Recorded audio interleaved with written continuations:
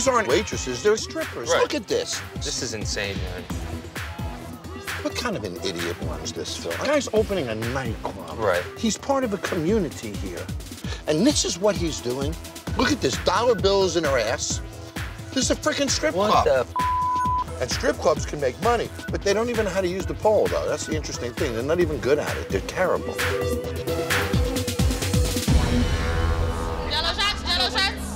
Just giving around free booze to everybody? Do something to take in some freaking money. They're giving away shots to people that already have a free bottle. They're doing this before anybody's spending any money, and that's the most mind-blowing thing to me. Phil, this guy's gonna close next week because he's out of money. How many Jello shots did you give away last night? Uh, about 10. How many people did you pour?